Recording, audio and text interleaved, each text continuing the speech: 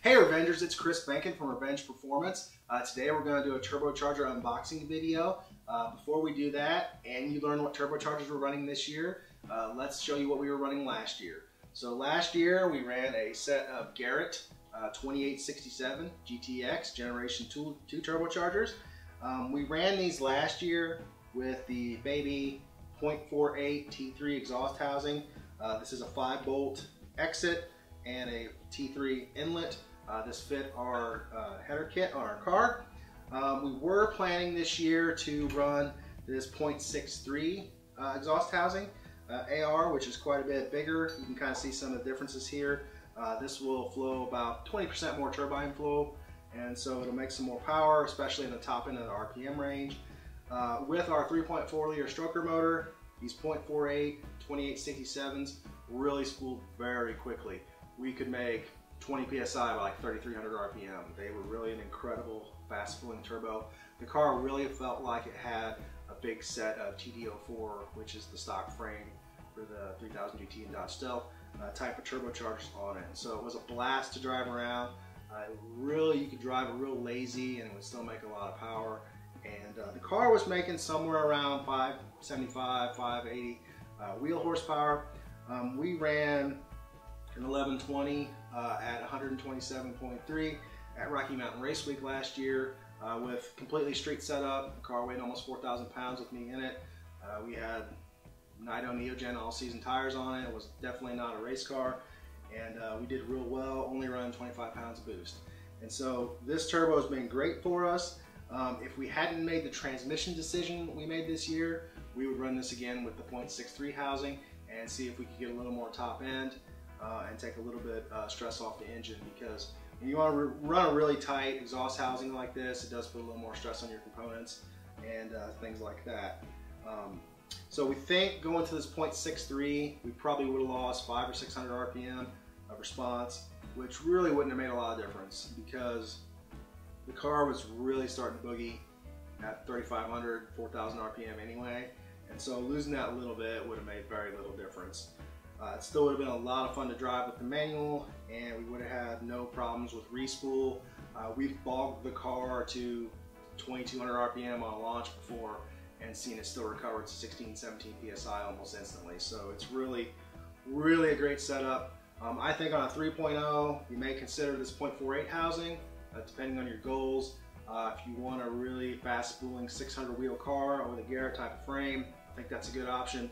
Uh, if you're wanting to make 700 plus, then you probably want to go to this 0.63. So big news this year, you've seen a few of our posts on Instagram and whatnot. Uh, we are switching to an automatic. Uh, we're going to use the JDM automatic transmission that came in the non-turbo uh, cars abroad. And uh, we have a lot of upgrades for that. So if you check out our Instagram and Facebook, we're going to show kind of what we did with that. We're going to be putting together some builds uh, blog posts and things like that, kind of showing as we take that transmission apart, put the upgrades in it. Um, but we're really excited about that. What really prompts us going to a bigger turbocharger is we really want to run nines this year. And so that's a big jump down, obviously from 1124. Um, I do believe with a little more boost, the car would have run 1090s type of thing, uh, as it was last year, but obviously that's bench racing, I don't do that. Uh, so let's say we got about a second and a quarter to make up. We're going to enter Rocky Mountain Race Week in the 10.0 class and see how many 10.0s we can get, or if we can get a 10.0 or a 10.1 every day, that would be awesome. And then hopefully sometime this year, we're still going to edge into the nines and things like that. We have a roll cage and other items for safety to put in before we do that, but it's all on the plan. So the thing about the automatics is turbocharger response is no longer quite as cut and dry because you can put a high stall torque converter in them. And so we have a precision 8 bolt built torque converter um, that is designed to stall about 4200 RPM and obviously uh, depending on engine torque, uh, depending on how much boost you're running, all that's going to change. We just really wanted a setup that we could foot brake without nitrous and get the car off the line. And if it ends up spooling way higher than that. You know, if, if we're, you know, over 6,500 all the way down the track, we may tighten up the converter a little bit, but Precision offers a uh, free restall in the first two years. And so we may have to do that, but that is really just kind of part of the game. There's no problem with needing to do that. As you know, at Revenge Performance, we love to test the things that we sell. And so we will be offering some precision torque converters on our site, notably the second generation one from Mitsubishi. Uh, the 1G1 is exclusive to Jeff Bush because he developed that. Um, so we're going to test this converter out. We're going to get a lot of data for it. It's all going to be completely transparent. Uh, we are not going to hide what it stalls at or what it does like that. Um, we're going to give you data logs, see exactly what it does on our exact combination, and that might help you get closer to what stall you want in the future. And uh, you'll be right along for the ride just as well as we are. Um, you know, we're not in a super competitive racing environment uh, where we feel like we can't give all that information out, and so we just want everybody to learn together. But back to the automatic and the high stall torque converter, what that means is that these 2867s that they spool start spooling at 3000 RPM doesn't matter anymore. And so unless you're at really low throttle opening angles, uh, as soon as you really start getting into it, your high stall torque converter is going to really you know, get on the converter it's going to stall right past where you would have any kind of lag with a larger turbo. And so there's not a good reason anymore, in our opinion at least, for a drag racing vehicle to run a turbo this small on our stroker setup. And so we are upgrading. Uh, rather than just doing this exhaust housing, we decided to upgrade the entire turbocharger. And that's why we come to this video today. We are going to go ahead and unbox this turbo. Um, we did not go to the moon with this turbocharger uh, just because we don't have a ton of racing experience with the auto. We're to see what this does. But also, these are capable of so much power that we really didn't see the need to go too much bigger on this. We're not trying to run 150 in a quarter mile or anything like that. Um, we're really trying to just build 990, 135, 140 type of car, uh, something that we can consider fully streetable. And I think that that would be a pretty good uh, achievement for this platform and what we're trying to do. So what we went with is GTX 3071R Generation 2 and the really nice thing about that is because of the options we picked this is completely interchangeable uh, you know externally with our current turbo setup. So we won't have to make any changes to the headers we won't have to make any changes to any of our plumbing or anything at all and that is the nice thing once you make the investment in a T3 or a TD05 header kit, um, you really open up the doors to being able to easily swap to off-the-shelf turbochargers. Um, we can get you one of these turbochargers in a couple days. And so in a racing environment, that's really important um, that you try to use standardized components when possible and, uh, you know, not necessarily be held up, working with a lot of custom type things. So there's a couple of options on these turbos that we're going to talk about when we get this box open uh, that are important to fitment on a 3000 GT or Dodge Stealth.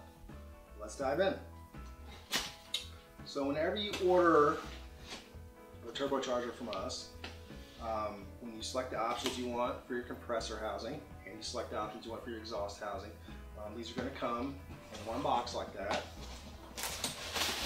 And there's a couple other things to talk about, and we'll have this on our product data sheets. a couple other parts you need, but as long as you order the correct assembly, you're basically going to get a turbo that's ready to bolt on.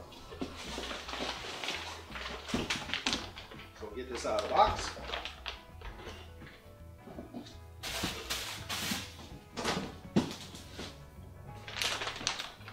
And we have a little zip tie. You really shouldn't cut these with knives, but I do have it away from me think we'll be okay.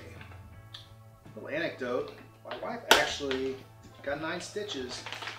Uh, keep using scissors to try to cut a zip tie so if you got wire cutters handy, Andy, that's the safe way to go.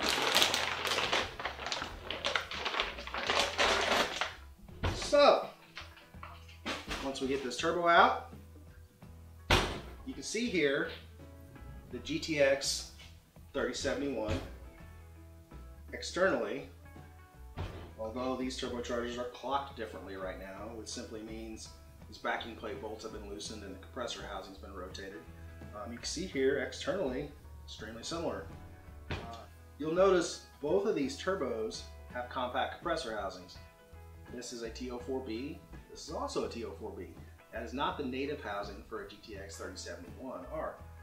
This is an optional housing and one that we recommend for this platform because this is a lot more compact than the T04E that the GTX 3071R natively comes with. Um, you do give up your surge ring. As you can see here, there's simply not room for it with the larger compressor wheel. Um, but this is going to fit in your engine bay just like this will. So I can tell you from experience, this is pretty close to the firewall when you're installing the engine, uh, at least if you're putting the engine in with the transmission at the same time. Um, I can also tell you this gets pretty close to your valve cover. We did have to run a spacer on the rear header to even clear that.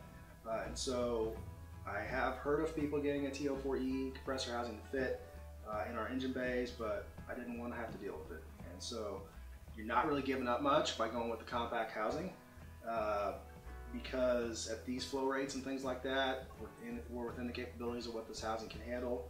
Uh, this has your same three inch inlet the 2867 has, and it also has the two inch outlet.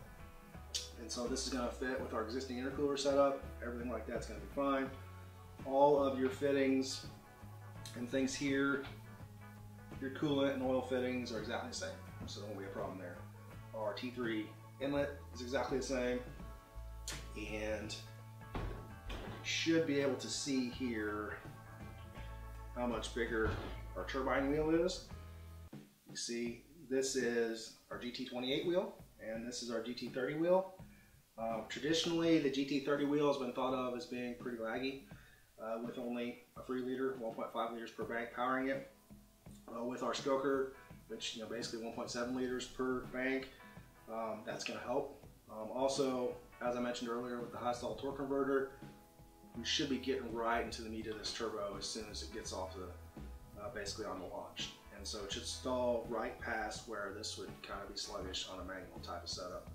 So, but again, like always, we are going to share any data we have on these turbos with you and data logs, however detailed that you guys ask for it. Nothing hidden, hidden here.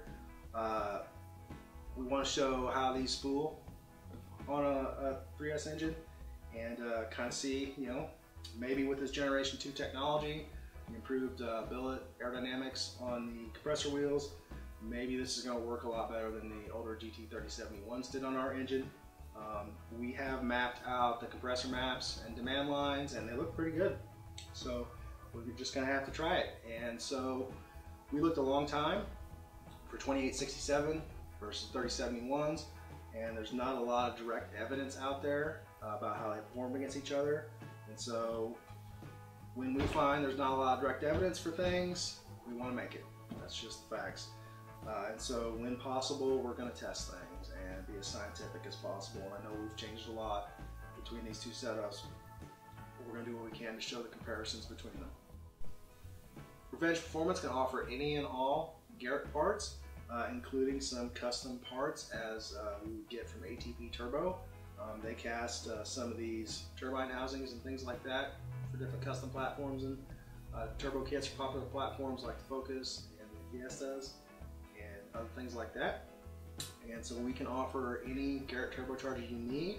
Uh, we're going to try to get more and more of these on the website, but if you see a model that you like and it's not available on our site, just reach out to us with our phone number or sales at rvengeperformance.com. Um, we're also going to kind of show the recommended options, at least for the 3000 GT and Dodge Stealth platform, as far as what compressor housing to pick and what turbine housing to pick. There are tons. And so how many volts you got, whether it's V-band or not, AR, all that stuff is configurable. And so that is another nice thing about running Garrett or other type of turbochargers out there that are based on a standard platform is there's a lot of mix and match stuff you can try. So let's say we get out there and we find out these aren't like at all. We want to make more power. We can go up to a 0.86 T3 housing. I don't expect that, but that's something can do. The same thing with what we did with the 2867s. We found the .48s, spool exceptional, probably too good. On a three liter, probably would have been perfect. On a stroker, we would have went to this .63, which we were gonna test next. So just a lot of great options out there and a lot of configurability. And if you have any questions about Garrett turbochargers, feel free to reach out with us. Uh, we'll tell you what we have, we'll give you the data we have, um, or we will talk with our Garrett technical line and figure out what we don't know. So thanks for checking out this unboxing video. Um, we're going to try to start putting these out again, and we're hoping that uh, these are useful to you guys. I know that there's a lot of videos and a lot of channels you can choose to watch on YouTube. So if you like what we're doing, please subscribe. Um, please uh, ring the bell. Uh, please comment. You know, honestly, uh, that really helps us out and helps us know that you guys are interested. And uh, maybe we get an opportunity to answer some questions for you, or maybe we get an opportunity to learn something too. So obviously, you guys are smart out there, and we'd love to hear from you. Thanks a lot.